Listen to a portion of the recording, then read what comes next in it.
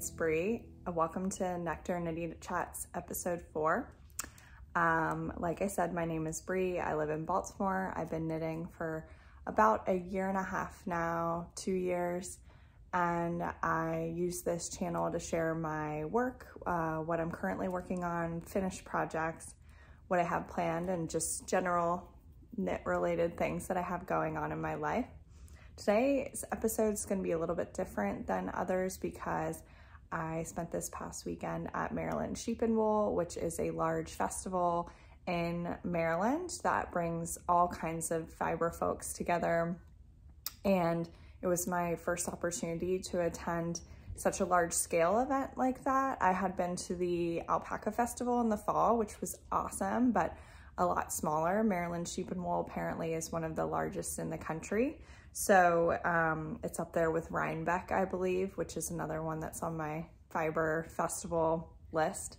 So I wanted to kind of talk about uh, my experience going there for the first time and what I picked up while I was there and uh, the projects that I have planned for the uh, purchases that I made.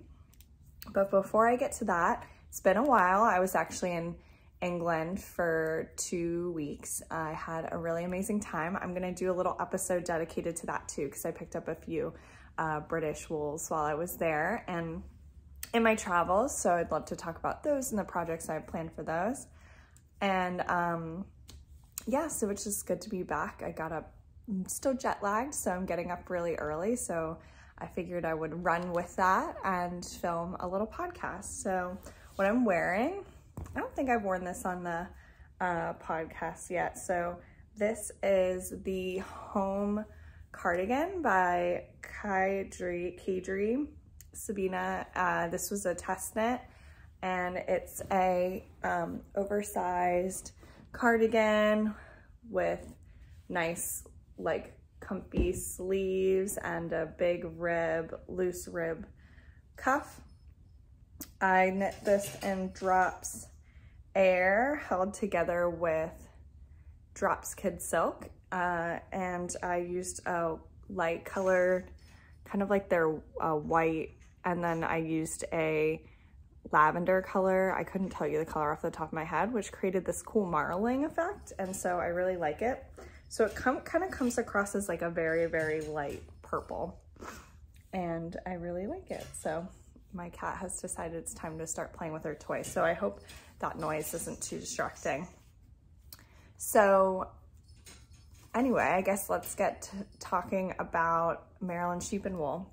So I, I got home from England on Wednesday of last week and it was nice to have Maryland Sheep and Wool to look forward to, so I wasn't too sad after returning from my trip.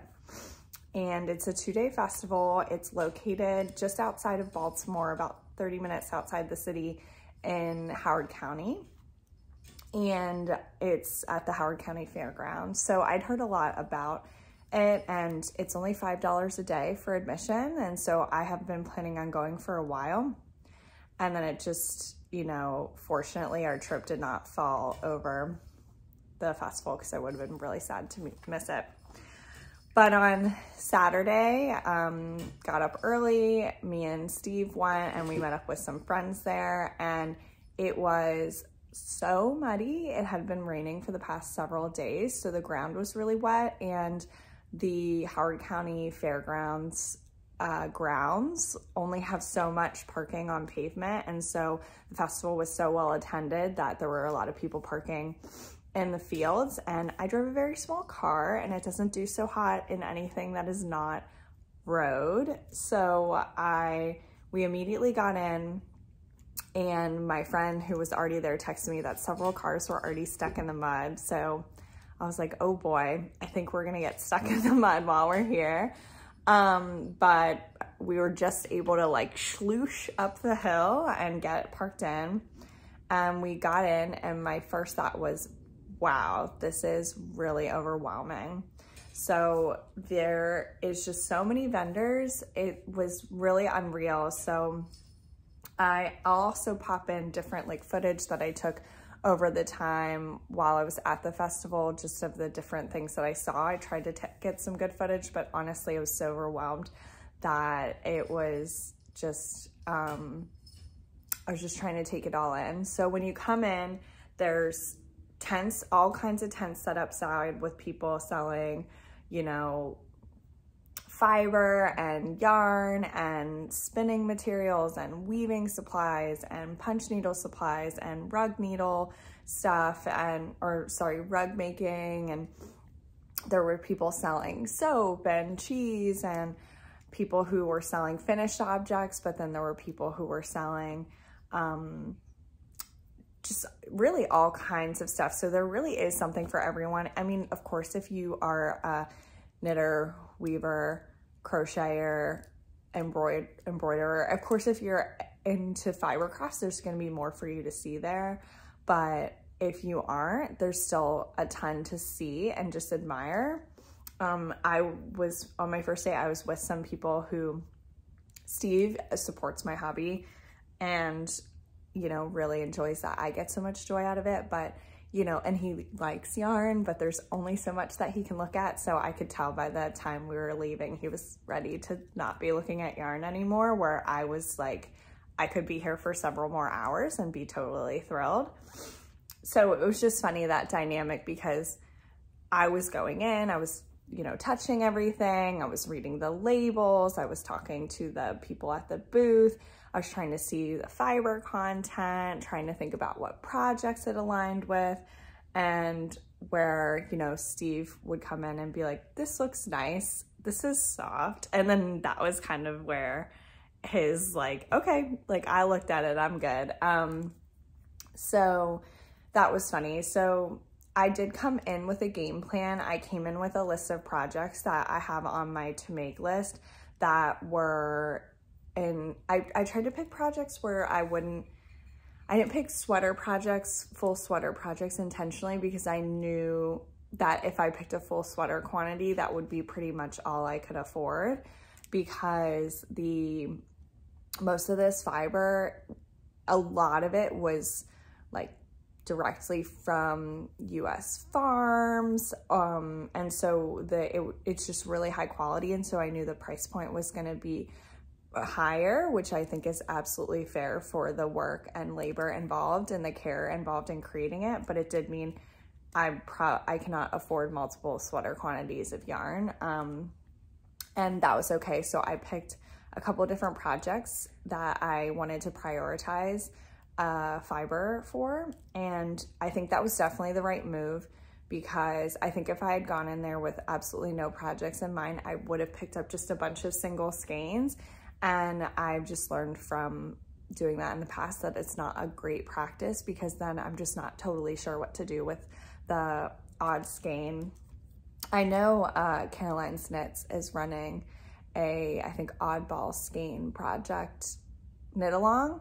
And so that's something I might check out, see what kinds of stuff make, because I can make hats. I know I can always make hats.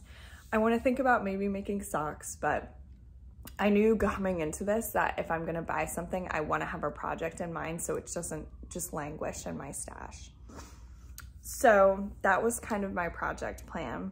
So the different things that we looked at, um, so there's all the boosts with the different fiber, but then there are also all the boosts or the farm, sorry, the barns that have all the different sheep. And so I just had no idea there were so many different sheep. So we spent a long time kind of like wandering through there, looking at the different sheep, seeing the different lambs. Um, they were doing kind of different competitions where people were winning uh, prizes uh, for the different, for their different, you know, sheep, which I, I would love to learn more about because I, I've, I've not grown up in a farming family. And so I think it would be interesting to learn about what are the things people are looking at in those competitions. We saw lots of lambs. There were some sheep for sale, which was intriguing. And it was just really cool to see. And some of them had like the sheep and then the kind of fiber that they were able to create from their fleece, which was really cool. There were fleeces for sale, all different kinds of stuff. So we kind of walked through there and that was really fun. And there's just every kind of fiber there that you could have wanted. So there was like alpaca, there was of course wool, there was silk, cashmere, there was, you know, cotton, um, 100% linen, and there was superwash, non-superwash, organic, not organic. So really there's something for everyone. I, one of my other goals coming in was I did not want to buy superwash yarn. I have a lot of superwash yarn, so I'd like to kind of play around with properties of different yarns. And I also wanted to explore some different summer yarn options because I'm not a huge fan of 100% cotton. So I went in knowing that I have projects in mind that I want to wear in the warmer weather. And so I wanted to experiment with something that might be a little nicer for that. So the other thing that was really, really cool was they had an opportunity. Sorry, I need a sip of coffee.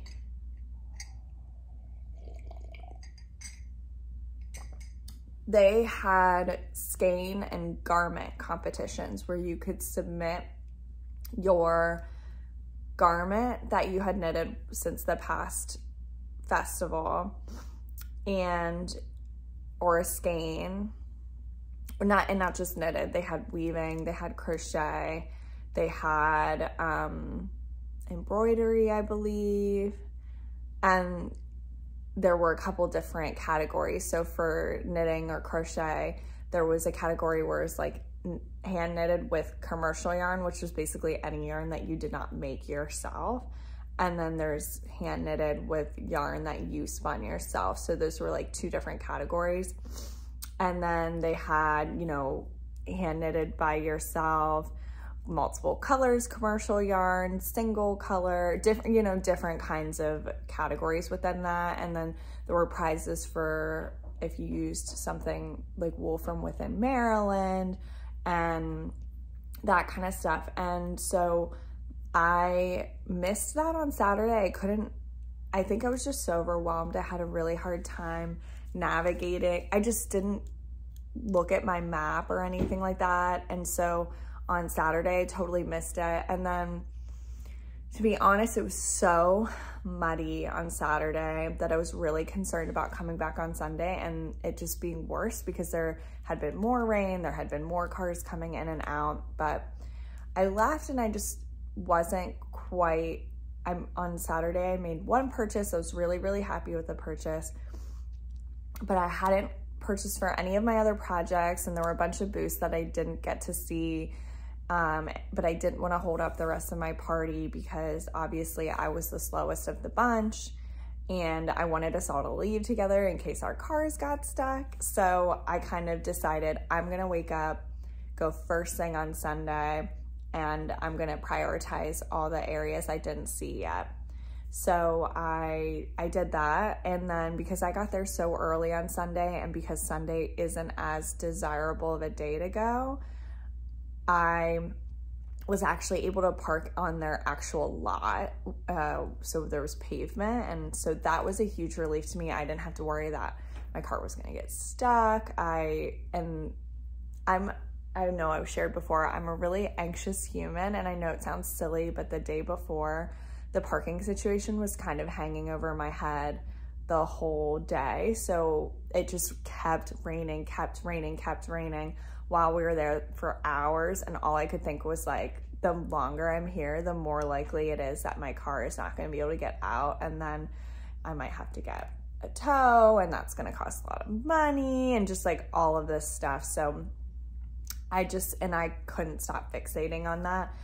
It ended up being totally fine. And then the next day I just made a plan and I called my dad. I said, just in case, you know, I might need out and my dad has a truck and he can always pull me out and he even offered for me to take it, but it ended up being totally for naught. And the first thing I went to on Sunday was I went direct to the skein and garment competition and wow, I played with the idea of submitting my shifty sweater, but then I didn't because I was having major imposter syndrome. I was like, is this really that good? You know, I don't know what kinds of things they're looking for. I, you know, I'm still a relatively new knitter. And I'm really glad I didn't submit it because I have to say, the work that I saw there was truly astounding. I've never seen projects so well constructed. Um, I, I took some pictures and footage of the different uh, prize winners, but then also just general. I mean, the weaving was beautiful, the knitting was beautiful, people's skeins that they had done. I mean, they were so well spun that I could have bought that in the store and I would never know it was hand spun and just really absolutely gorgeous work. So I just was amazed by the craftsmanship. So I'm really, really glad I got the opportunity to go over there. And then um, for the second place in commercial yarn in multiple colors was this like gorgeous dress. I could just tell the fit of it would have been stunning. I believe it was a like a brioche two color dress. It just, oh my gosh, was absolutely stunning. So I'll, I did take a, a picture of it. I'll pop it in here. And so I saw that and I was like, what could possibly beat this dress because it just was so well done. I just couldn't believe it. And then I was kind of walking around and then I found the first place for knitting and I was like, it was crazy. I was admiring it. I was taking pictures. It's this beautiful color work cardigan. Um, it was by a famous designer. I will pop the information in the description because I cannot tell you the name off the top of my head, but everybody knew it and I just, I didn't, but I was admiring it. And then there was this couple standing next to me and the man goes, she made that. And it was just so funny. It was so classic. Like the knitter in her probably was dying to say like, oh yeah, like that's my garment.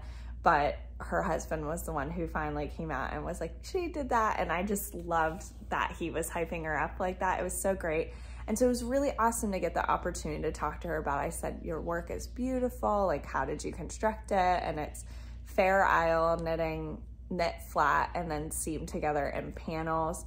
And her, her color work, I, I'm, Fair Isle color work is, is beautiful. I really struggle with it. Um, but, and I told her that and she said, just practice, practice, practice.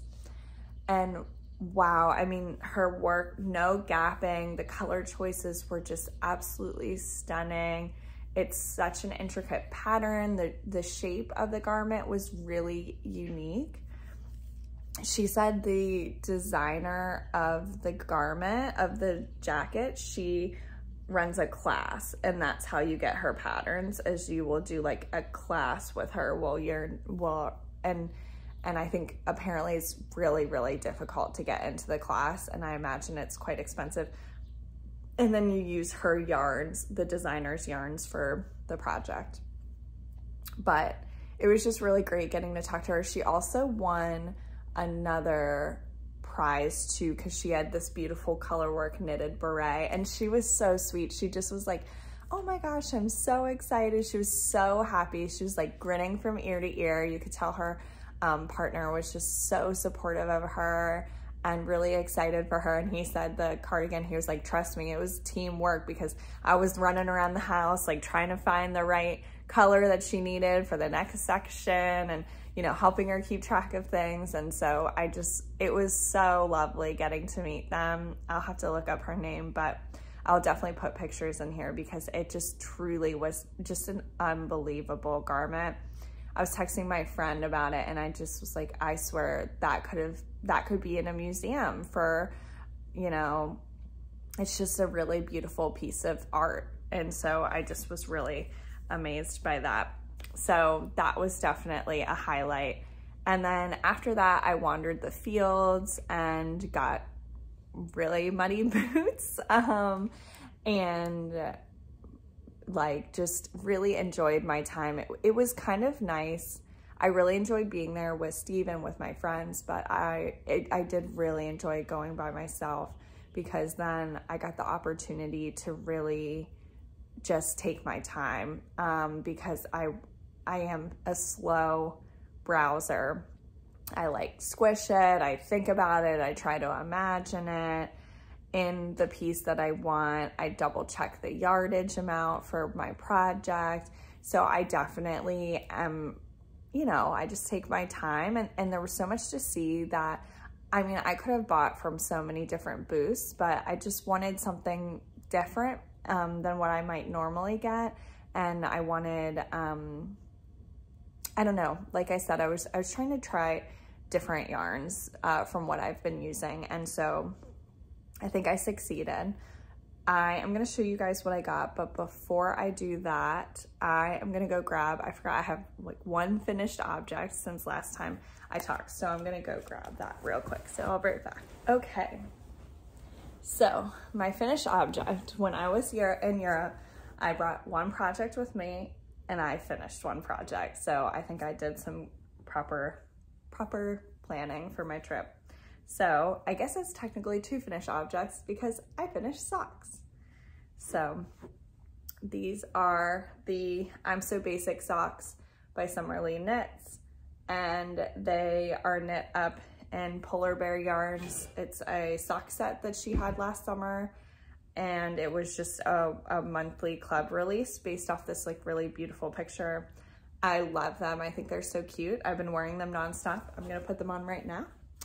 Um, they are looking a little worse for wear. They, I learned a lot. Kitchener stitch, my first Kitchener stitch. And I think they fit pretty good.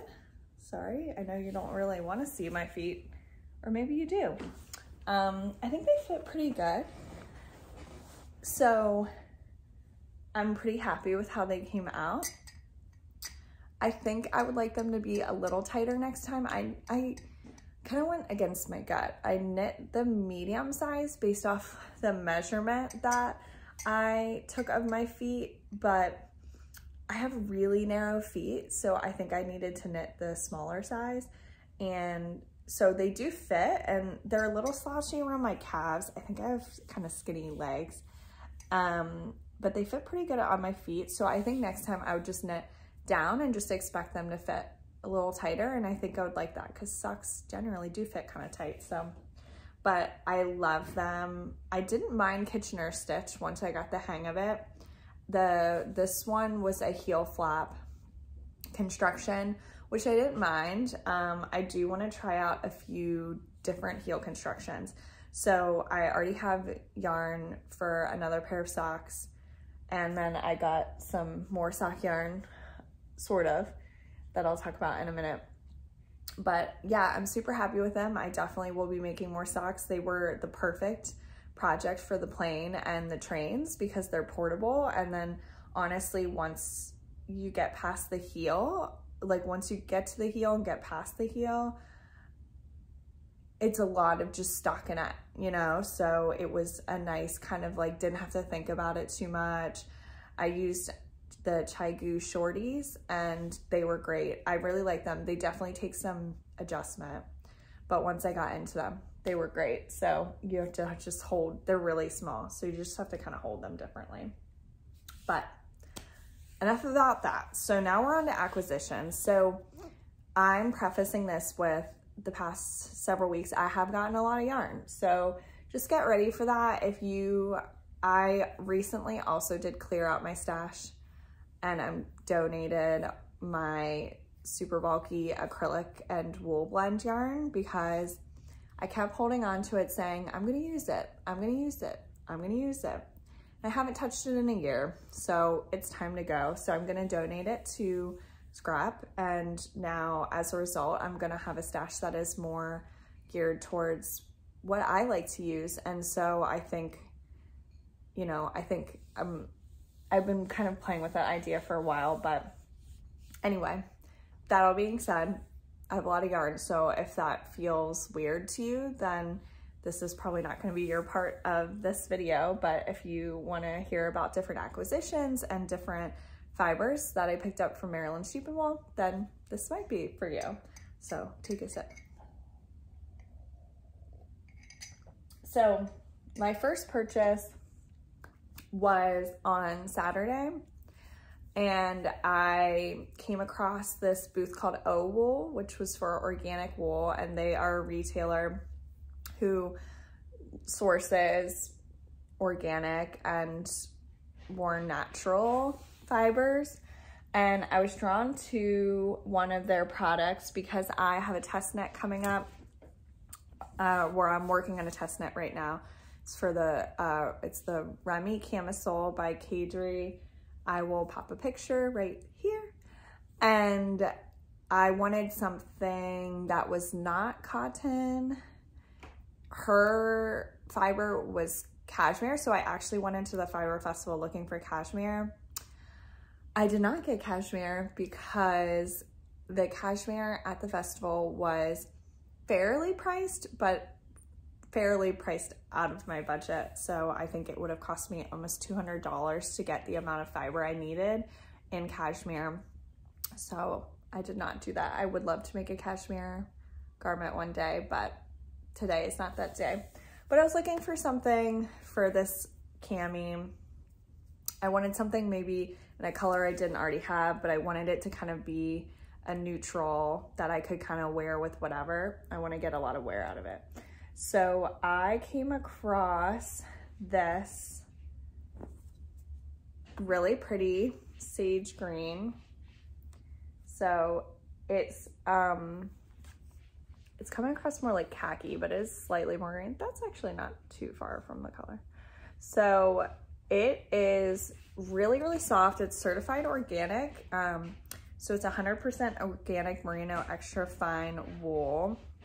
It is really, really, really soft. So it's by Rosy Green Wool and it's lovely merino treat.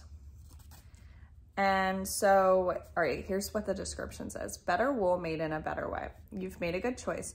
For an extra fine wool from Patagonia that pampers your senses and is guaranteed to be ethically produced. All Rosy Green wools are 100% GOTS certified, which means they carry the strictest international organic textile label. Our producers and we are dependent, independently inspected on a regular basis with regard to organic animal farming, fair working conditions, chemicals, and residues. The yarn is spun with traditional craftsmanship and small manufactories. It hardly splits and it pills as little as possible. It is machine washable without the use of chlorine. I didn't know it was machine washable. Look at that. Start your new knitting project with the fulfilling feeling of handling wool that has been made without mulesing and chemical sheep dips and with great care and respect for the environment. Happy sheep, happy people, which I really like. Um, it is really, really soft. So it's in the color 148 or reed. And yeah, so it is 100 grams, 230 yards. So it's like a DK weight, which is what I needed. So I think it's maybe, it's like between a DK and worsted, but it is really soft. It honestly kind of feels like a cotton. So I'm hoping it feels like a cotton, but with the good properties of wool. So the elasticity is, is the main thing I'm looking for. I want it to be able to hold its shape because I find cotton doesn't do that as well. Maybe I'm just doing something wrong. I like cotton and like this is cotton. I like that, but I don't know, knitting, it's just not my favorite. But here it is caked up. I've caked up one of it. Um, so, and here is my swatch. So I did have to go down a needle size, but um, it's nice and stretchy. It's really, really soft. So I think it'll make a nice, and I like, I like the fabric it's made. So I think this will be good. So that was my first. So like I said, that's for the Remi Cami, which is a test that you will be seeing on my feed very, very soon. So then my next purchase was first thing on Saturday. I got back in, I mean, sorry, first thing on Sunday, got back in. I was perusing one of the booths and I found Battenkill fiber mill, which is a fiber mill that they make their, they spin their own fiber, but they also spin for a lot of different um, yarn, like larger yarn companies. And so I was just kind of perusing their stuff and I really liked it. It felt a little bit more natural. It felt more rustic than what I'm used to. And I was kind of talking to them about the different projects and I, I asked them, I was like, you know, I'm really looking for something I can use in the summer, something a little lighter. And they were like, well, don't you know, we have this linen blend that is really, really nice for the summer. So it is a wool and linen blend and I was looking at it and I really like it. It smells straight up like sheep. It, it looks like sheep. I mean, it's un, I think it's undyed. It's a little bit of a rougher texture than I've used before, but I they had a shawl that it had been knit in and it actually comes out really soft and it knits up really nicely. So I was appreciative. Another thing is like why I love a sample because then you can really see it in action and it comes out really, really nice. And so I got this and I was speaking to the woman who runs the mill and she was like, you know what, like we, I asked her the price because it wasn't labeled and she was like, you know what, we're down to our last five skeins. It's an amount that not a lot of people want to work with because it's not a large amount. And I asked her what the yardage was and she told me and five skeins is exactly right for the project I was looking for. So I wanna make the Moonset Tee by um, Ozetta. And it's just this really lovely light v-neck um, t-shirt. And I wanted it in kind of just like a classic summer color. And so I needed um, 900 yards and the amount I got was about a thousand. So she gave me a great deal. So I got all of this for like $35. So I am super, super excited about that. So I, that was the first thing that happened to me on Sunday. So I was like, all right, I'm in the right place. So that was my second purchase. Then the day before I was talking to my friends mom who was there and she had told her I was trying to move into different yarns. She's been knitting for about 30 years and she really likes using rustic yarns too and or she uses more rustic yarns which is something I wanted to try more of and so she pointed me towards a couple different booths the first one she said she really loves is Jill Draper Make Stuff, which I don't know how I'd never heard of her. Maybe because I've been using a lot of superwash and her work is not. But she had a beautiful, Jill Draper Make Stuff had a beautiful booth in the main exhibit and I was immediately drawn to this gorgeous skein. I mean, look, it's the same color as my couch. Oh, that's funny. I did, I didn't notice. Um, we will call this couch maroon. Oh my gosh, that's so funny. I do love this color. Um, I think I also, I mean, I think it looks nice with my hair. I just love like a wine purple color. So this is from Jill Draper Makes Stuff. It's called Lee Trillium. It is a lace weight wool and alpaca blend. So I immediately was drawn to this and I wanted to make something with it. I just love the color. I was trying to think what I could, if I could hold it double, you know, and so I was talking to the people at the booth and they were super helpful and really, really friendly. And I had a project in mind. And so I was just trying to see if this would work for it. So the project I had in mind was the Cold Shoulder Crop by Park Knit. And so I, I showed it to them. I looked at the yardage and we decided kind of the, I could either hold this double and it would be more like a sheer open garment or I could hold it double with something else and it would, you know, work out. So I decided to hold it double with this, which is, as you can see, it's, it's a really, really close color match. So I think it'll have slight variation, which will be really nice but it won't be, um, it won't be too overwhelming. So I have these three skeins and that's gonna be the cold shoulder crop by Park Knit. So I'm really excited. Then I wandered around a little bit more and I got out to the fields and I found a standby Feederbrook Farms, which is a farm here in Maryland. I actually had a skein of theirs gifted to me, so I wanted to see them. So my friend Mandy from Rosie Posey Design Co. gifted me this gorgeous skein. And this is, um, I think it's a DK weight. I would have to look up. But I mean, it's just like gorgeous. So this is one of those kind of like meant to look hand spun, uh, gradient yarns. I mean, it's gorgeous. I really love it. And it's super squishy. It's really soft. So I wanted to go to their booth and see their yarn. I took video. They have so many gorgeous colors. And they had a bunch of like, they had fiber like this, but then they had a bunch of different fiber that I thought was really interesting.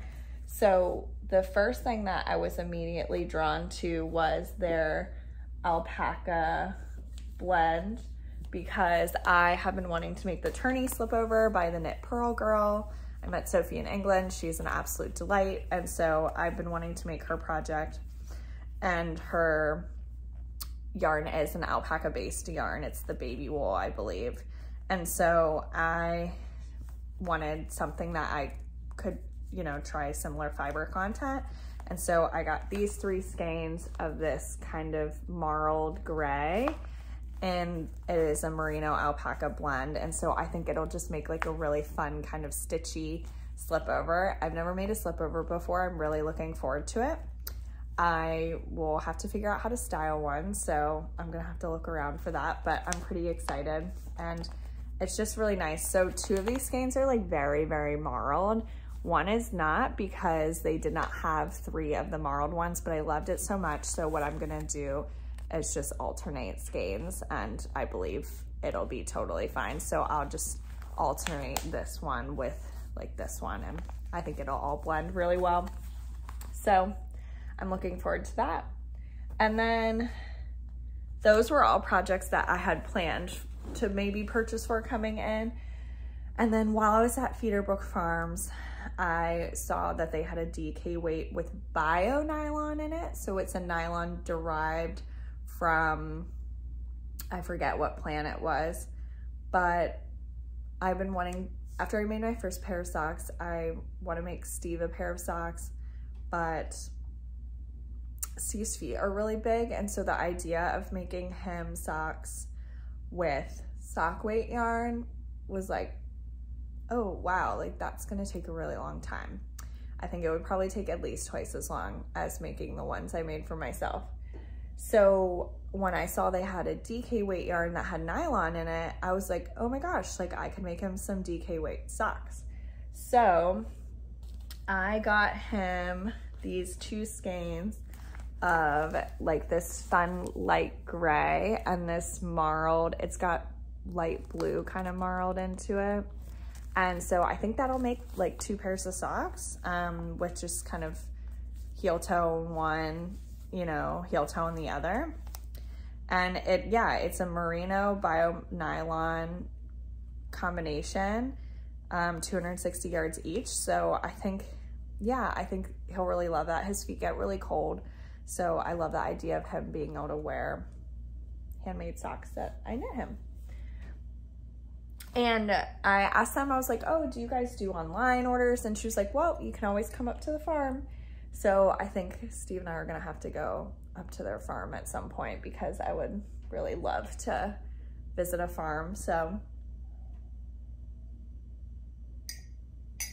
all right, well, I think that's everything. So as you can tell, I went a little crazy. I definitely did not think I would get quite this much fiber, but I'm really happy with my purchases. They're all really different and I think are gonna open up some new different fiber contents for me, which I'm really excited about. And I'm moving towards a handmade wardrobe. So I think these pieces are gonna get me just a little bit closer to that goal. So I'm really excited. I appreciate you sticking with me. I am definitely gonna be going back next year as long as I'm able. And let me know if you have any questions about my experience or if you were there, what did you pick up? Um, are any of these fibers exciting to you or any of them you're like, ugh, like I don't want to use that. And then if you guys have DK weight socks, I think I already have a pair recommendation from Polar Bear Yarn, so I have to look at those. But anyway, I will have another episode out soon about my trip to England, so I'm looking forward to that. And yeah, thanks for uh, chatting with me. Bye.